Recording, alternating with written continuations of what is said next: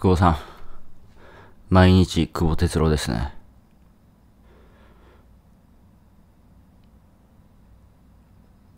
毎日久保さんですね。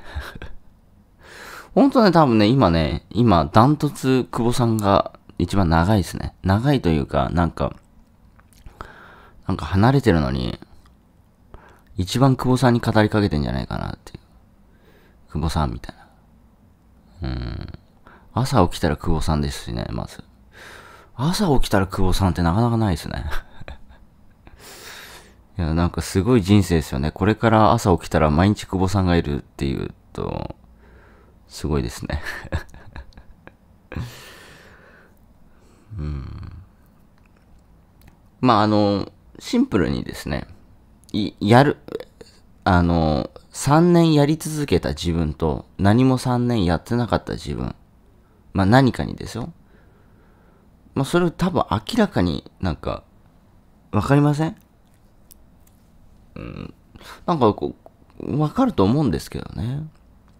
で、僕いろんなお客さん見てるんですけど、まあ3年が時間かかって、いや、今すぐ金が欲しいっつってね、今すぐに飛びついて、あの、今すぐの儲かるなんちゃらに飛びついて、どんだけお金を失って、時間を失ってきたのかっていう。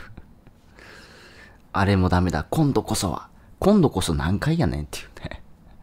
今度こそは何回してきたねんと。いや、今度こそはじゃなくて、あの、今日から始めようみたいなね。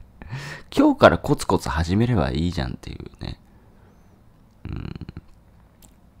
もう今度こそはじゃなくて、今日から始めてください。コツコツ。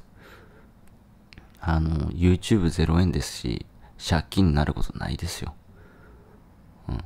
が。情報詳細買いまくって、仮想通貨で失敗して、FX 投資で失敗して、資金が失いました。借金です。全くゼロですね。YouTube。いってらっしゃい。